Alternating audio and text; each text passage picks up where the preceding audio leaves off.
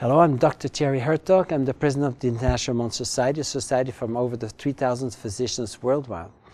Um, I treat many patients with thyroid deficiency.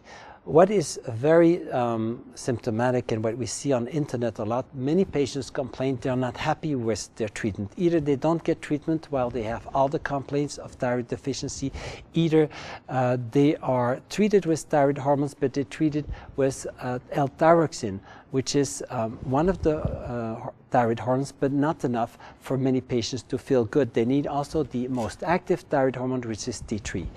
Um, and so basically, um, what I've seen is that many patients are within the laboratory reference ranges, which withholds our statistical ranges, which withholds 95% of all patients who go to that laboratory doing thyroid tests, and only 2.5% are below, and 2.5% of the patients are above. Well, we treat also patients within the reference range because there are many studies out there and that you can find on the reference list of uh, the consensus uh, one, I believe, of thyroid treatment of the International Hormone Society, where you saw that there, no, it's consensus nine, where there are reference ranges um, where there are uh, more age-related diseases and even more mortality when patients have lab tests that are within the reference range of the laboratory but low normal in the lower third or the lower half of the reference range.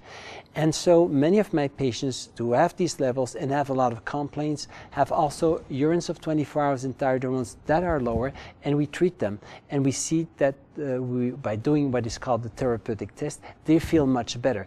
So um, basically I have two informations to give and two advices is that you may treat scientifically and medically patients within the reference range who have a lot of complaints of hypothyroidism, and you will see that they generally will improve on the condition they receive a treatment that has not only T4 but also T3. So the T3 and T4 treatment, a combination, either uh, a synthetic form or either even better is desiccated thyroid coming from animal, mostly from pork.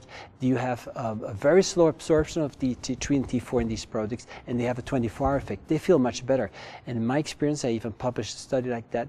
Uh, most patients were better on the T3 and T4 than T4 uh, preparation. 90, 89 of the 91 patients. So again, I think many more patients should be treated with hormones, and especially thyroid hormones, and they will feel much better and will be very grateful to you.